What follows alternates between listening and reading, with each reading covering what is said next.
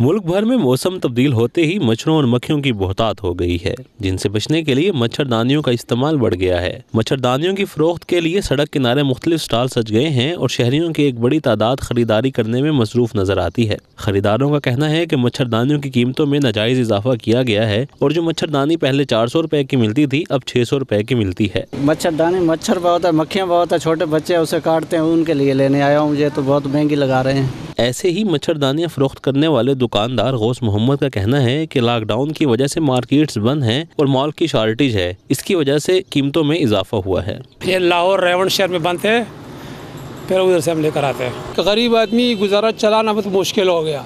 दुकानें हमारा बंद पड़ी है, घर इधर किराया पर है।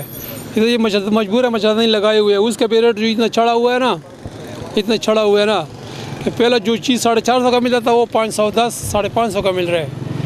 तो गरीब आदमी क्या करे? मजबूर है, इधर लगाए, फिर गाह का भी सुनना पड़ता है ना। पिछले इसका रेट चला लोगों ने पता, लोगों को पता है ना कि रेट क्या चल रहा था।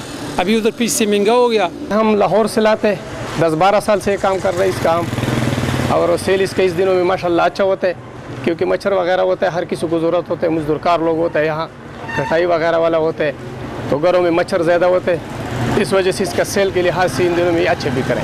मच्छरदानी और इस जैसे दूसरे सामान की कीमतों में कमी करने के लिए इंतजामिया इकदाम करे ताकि आम शहरी को रिलीफ मिल सके। फ़सलों के दिनों में जहाँ मच्छरों और मक्खियों की बहुतात में इजाफा होता है वहीं मच्छरदानियों की फ़रोख्त में भी इजाफा हो जाता है। लेकिन लॉकडाउन की वजह से मच्छरदानियों के महँगे होने का शिकवा भी आम है। Mohammad Usama Haider base network.